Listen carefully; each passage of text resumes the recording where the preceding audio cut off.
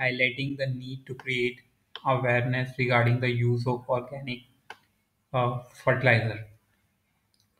So first of all, start with sender's address, like your address, or then you can write the date, and now you have to write agriculture minister because we are going to write this letter to agriculture minister, which is a concerned authority and agriculture department, and then New Delhi. After this, the subject need to create awareness regarding the organic fertilizer, and after this We'll start with our letter, sir.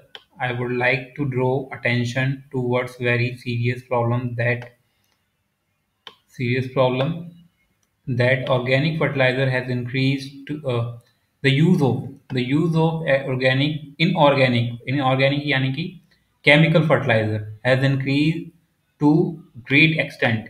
We already know the consequences of chemical fertilizer to our health.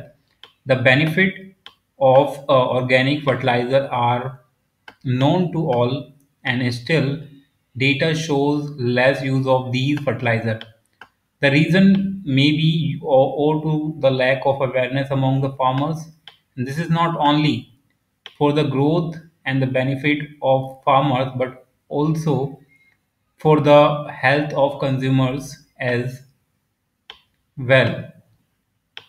So, due to this reason, I request you to create awareness among the people to encourage the use of organic fertilizer. Hope you look into this matter or hope you look into the matter and then you can end the letter. Thank you, yours sincerely.